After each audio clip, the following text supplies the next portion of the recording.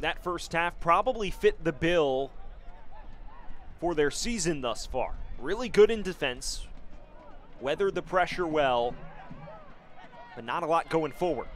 McLaughlin picks up the loose change. Now for Anderson! And he opens the scoring for North Carolina. Oalex Anderson's fourth of the year. And the visitors up and running in the Dogwood Derby.